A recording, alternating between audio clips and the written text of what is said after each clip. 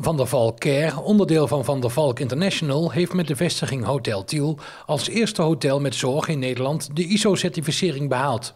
De behaalde ISO-certificering is wereldwijd een erkend kwaliteitskeurmerk en de hoogst haalbare norm die door een hotel met zorg kan worden behaald.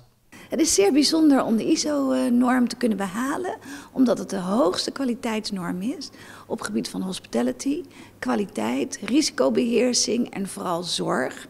Want dat is wat wij leveren ook bij Van der Valk Daarnaast is het een kwaliteitsmanagementsysteem die straks alle andere Van der Valk hotels over kunnen nemen als ze ook interesse hebben voor een uitbreiding met een hotel met zorg.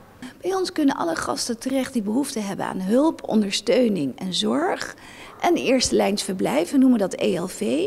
En ook om bijzonder om te melden is dat we in december dus extra zorgcontracten hebben kunnen tekenen door de ISO-certificering.